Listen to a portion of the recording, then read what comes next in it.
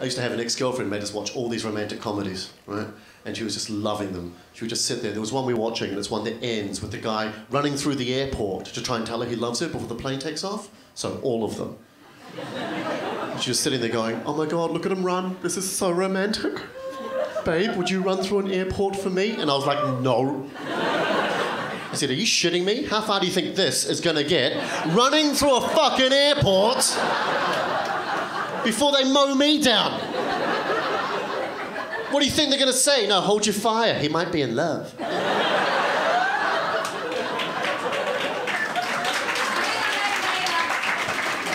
While we're talking about airports, is everyone here, can we all agree, is everyone here sick and tired of the way we're treated at airport security? It's bullshit, isn't it? You're just excited to go on your holiday. You get there, they start yelling at you. Laptops out, tablets out. Where's your liquids bag? Where's your clear bag? And you're just sitting there going, do I keep my shoes on, off? I don't know what to do anymore. I swear that's all the metal out of my pockets. I just don't know anymore. I tell you why we hate it. I tell you why we're frustrated. It's because we're not seeing any results. When was the last time you saw them catch a terrorist at airport security? Doesn't happen, does it?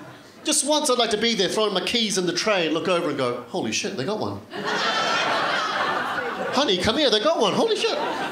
He was so close to getting on the plane. Thank God for airport security. They got him with their net. Never happens. They just keep adding on all this other things to try and make you feel more secure. It's all bullshit. Like the latest thing they've got is like, oh, we're doing random checks now.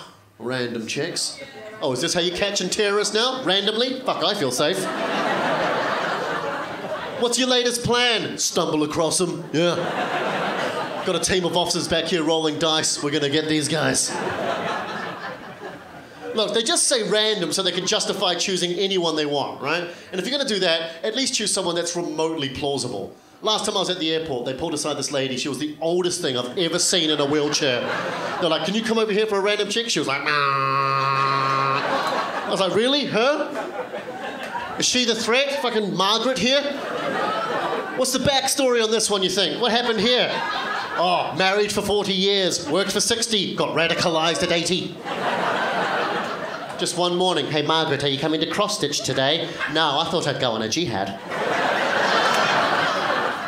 It's time.